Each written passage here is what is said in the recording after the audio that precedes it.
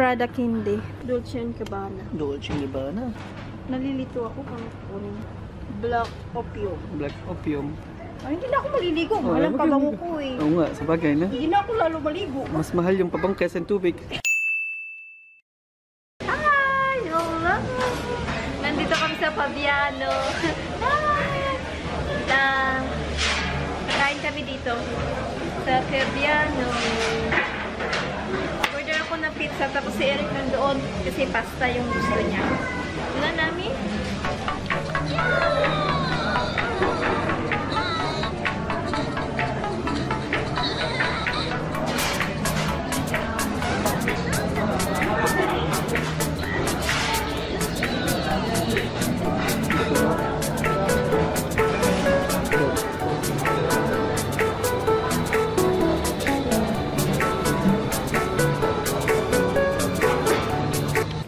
kumain, maglakad-lakad kami sa labas.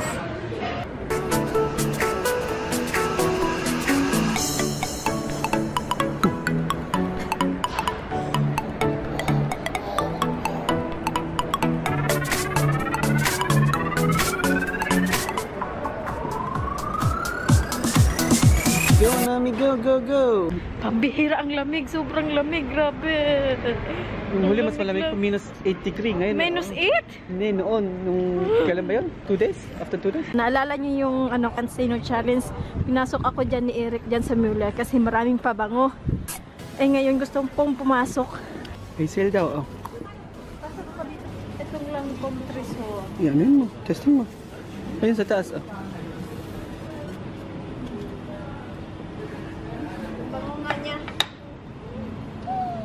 Ano?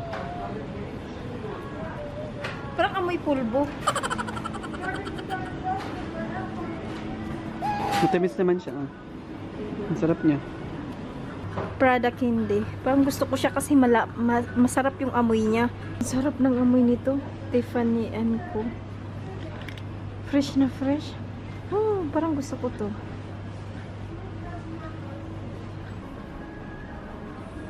Lagi ko Ano yan? Dolce and Gabbana. Dolce Gabbana. Ano? Para, parang amoy lang din siya sa Tiff- Tiffany and Co.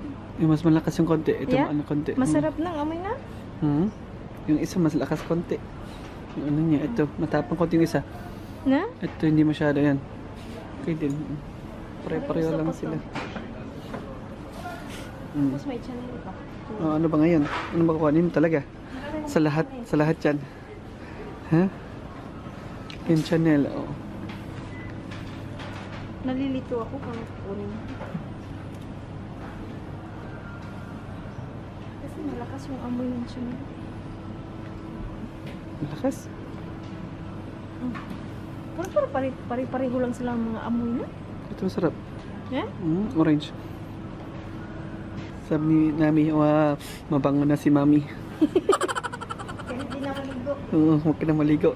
Pabango na lang.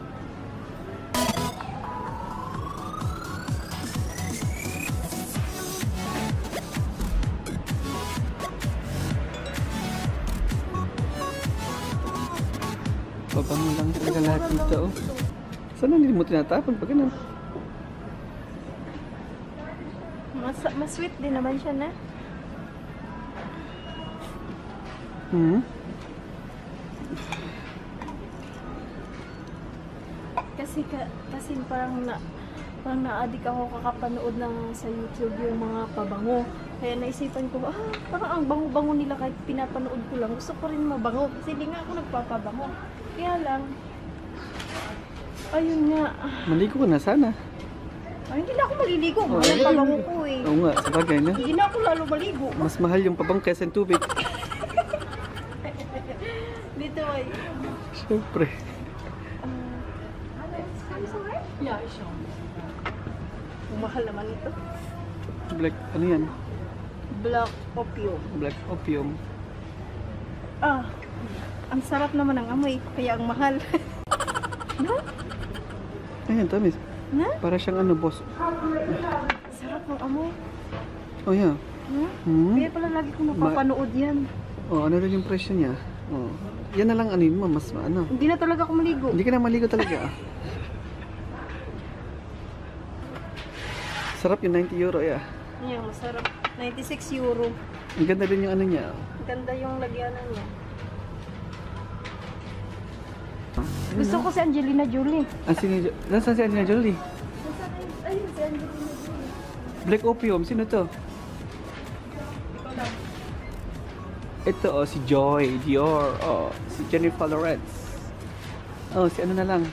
Sino to? Angelina Ay, Angelina Jolie pala. Angelina Jolie, oh. Wow. Ano pa bango dyan? Dami. Ito. Ayan, girl, girlland. Girl, girlland. Ah, ito din. Mabang... Bakit ang ganun? Hmm? Sobrang ang sarap ng amoy. Na? Sarap din. Tingnan mo naman presyo. ang sarap ng amoy. Ayan, matagal din talaga. Tipid ka sa tubig.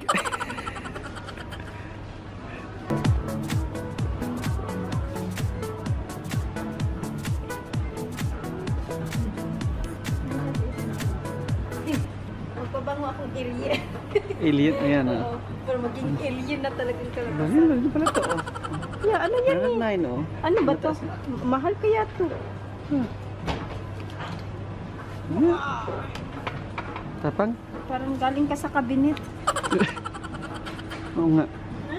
Parang galing ka sa tago. Ano ba bibilin mo? Lahat yan, bibili mo ba?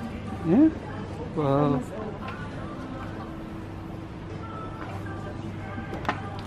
Nga, kami nga. Sweet kasi siya, sarap ng amoy niya.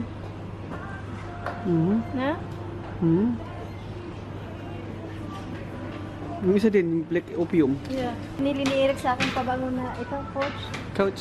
Sinipon akong dalawang araw, isang bisis pa nga nagamit eh. Para na akong nakadrugit kasi binisita kami sa kaibigan ko. Pagdating namin sa bahay, niya, sabi niya, ano ba nangyari sa'yo? Sabi ko, nagpabango kasi ako. sabi may sakit ka ba? Kasi ano? Sabi ko, hindi. Kasi Yung- yung ilong, ano? Yung ilong ko sa tulo ng tulo yung sikon. Hindi ko na inulit. Kaya gusto ko sanayin siguro. Kasi sayang eh. Simo, siguro sana mga sweet muna nakabango. Ano yan? Maganda din ako eh. Maganda o dahil masarap? Masarap yun. Unti-unti muna. Oh. Isa-isa muna o dalawa. Oh. Kasi hindi mo maubos lahat naman talaga. Baka hindi ko nga magamit. Uwi na kami. Ah, sakit ng ulo ko sa ano ng pabango. sakit ng ulo ng pabango kanina doon sa loob. Atche ako ng atche doon sa pabanguhan. Umano yung dito ko sa, sa ulo ko.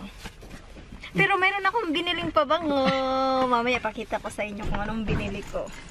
Hi! Nandito na nga kami sa bahay at nakabili nga ako ng pabango. Kahit alam kong maganda sipon-sipon ako sa pabango kaya hindi ako pumapasok sa mga pabango store kasi nga ah, sumasakit yung ulo ko, nagluluha yung mata ko, namumula, tapos sinisipon agad ako, ah, panay ako atche, tapos minsan sinisikmura pa ako sa amoy ng pabango. Pero ngayon, naaadik ako kakapanood sa mga nagre-review ng mga perfumes, mga pabango, kung ano ang mga pabango. Sabi ko, ang bango-bango nila, bakit kaya nila yun? Bakit ako hindi? Ang dami kong natutunan sa mga napanood ko. May iba't ibang klase palang pabango. Merong pabango sa winter, spring, summer, yung ganun. Siguro sanayin ko yung sarili ko na magpabango. Yung mga mild lang na pabango, yung mga sweet lang na pabango. Yun lang muna siguro umpisahan ko sa ganun para masanay ako. At meron ako nabili. Taran! Hindi lang isa, hindi dalawa, tatlo na para meron akong pagpipilian. Ito, product hindi gloss, tapos sa Lancome, and then sa Dolce Gabbana. Product hindi gloss, sobrang sweet niya. Ang sarap ng amoy niya. Para siyang asukal na tinunaw na kinaramel, yung ganun. Basta ang sarap ng amoy niya. Sweet na sweet yung amoy niya. Maganda itong Dolce Gabbana pang spring and summer na pabango para fresh ka yung amoy mo. Parang ganun yung pakiramdam ko. Medyo mild lang yung amoy niya. Ang ganda ng amoy niya, medyo mild. Ah, magsimula ako sa ganun. Pero ang bango-bango niya talaga. It, hindi siya sweet. Pero ang pang spring and summer na pabango siya. And then, itong Lancome ah Treasure in Love Lancome Paris. Ah, sweet din siya na amoy, pero mas sweet itong ah, product hindi gloss. Kaya kinuha ko na lang din siya. So tatlo yung binili ko. Ito mas maganda to kasi mag-spring na tapos magsa-summer. Yan. Ang tanong nga sa akin ni Eric, gagamitin mo ba yan? Sabi ko, syempre, unti-unti kong gagamitin to. Kahit oh, magpabago ako araw-araw.